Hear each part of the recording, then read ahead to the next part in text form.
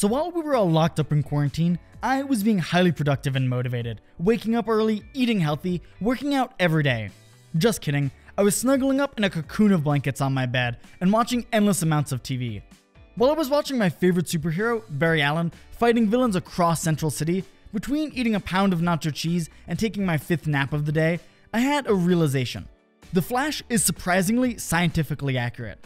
This channel covers so much real science, I thought it might be fun to look at the science going on behind the scenes of my favorite DC show.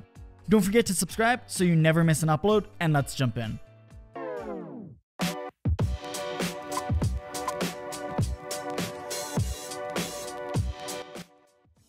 Before we get started, I just want to say that this video will include spoilers going through Season 3.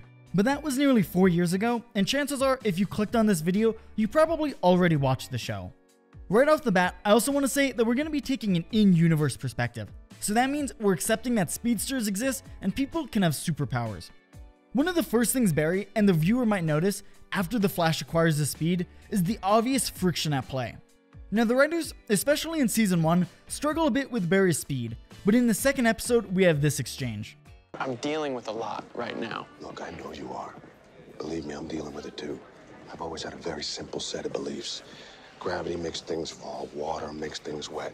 And up until a few weeks ago, I believed the fastest man could run a mile in four minutes, not four seconds. I can do it in three. Not relevant. Even with that being an offhand joke, let's do the math. One mile is 5,280 feet, and that means Barry can run about 1,800 feet per second, or about one and a half times the speed of sound. Although, a few episodes later, they make a big deal about Barry having never run faster than the speed of sound. How fast would I have to go? Factoring in the metal's tensile strength, estimated dermal thickness, atmospheric pressure, air temp, you'd have to hit him at approximately Mach 1.1. I've never gone that fast. Yet. Despite them being a little wishy-washy with his powers, we'll take this initial speed as Mach 1.5. At those speeds, Barry would encounter a ridiculous amount of drag, now we could flash some equations on the screen, but that's a little too mathy for this video. Instead, you just need to realize the drag on an object increases very quickly as the object speeds up. You can experience this yourself when driving by sticking your hand out the window. At 30 miles per hour, your hand can waft nicely throughout the air, but double your speed to 60 miles an hour and you'll feel much more than double the drag as the air tries to rip your arm off your body. So if Barry is moving faster than an F-15, how does he not get torn to shreds? Well, the multiverse has a clear way of getting around that. When Barry runs, he creates a sort of Speed Force bubble shield around himself, known as the Speed Force Aura, that shields him from most of this friction. On top of that, he wears a suit designed by the great Cisco Ramon to minimize the friction he experiences.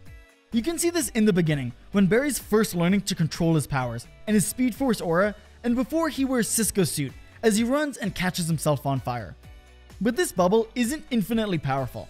We can see that when one of Barry's time aberrations races against Zoom so fast, his speed aura is overpowered and clone Barry is ripped to shreds.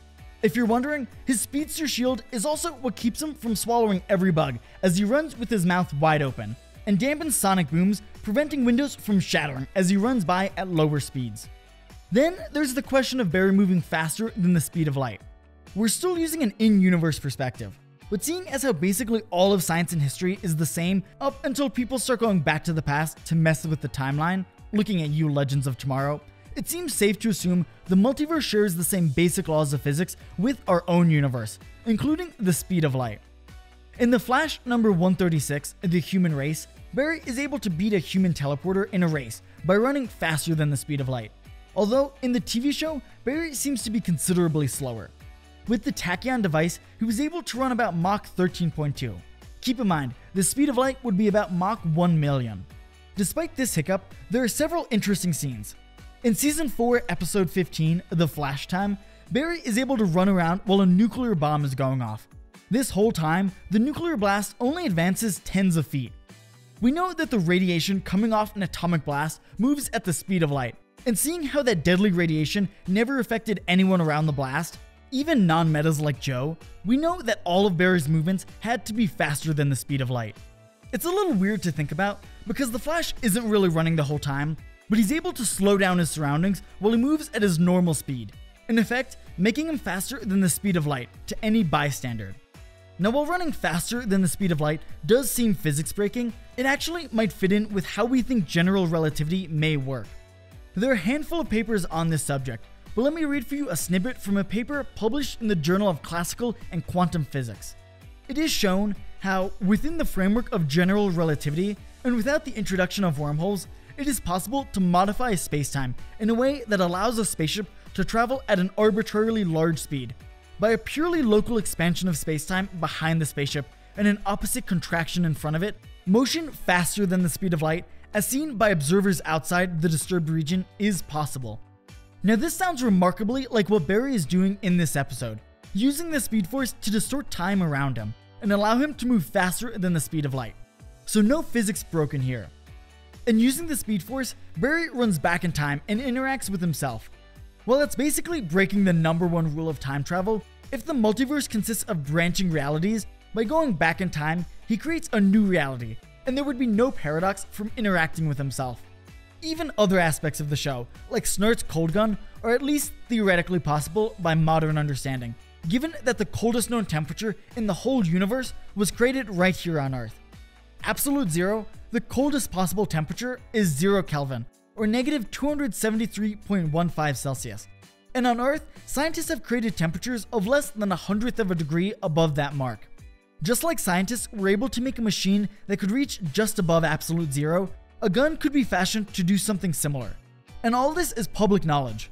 Who knows if governments are already three steps ahead, out there with cold guns, freezing baddies covertly. So yeah, while most people are just sitting there enjoying the show, or getting furious at Candice Patton for ruining the show, I was loving the attention to the scientific details. There are still moments when things don't add up, like the Flash's max speed being all over the place, but most of those are more minor details that can be chalked up to artistic license with the storytelling. If you want to see another episode on The Flash or any other show, be sure to let us know down in the comment section below. Have a great day, and remember, there's always more to learn.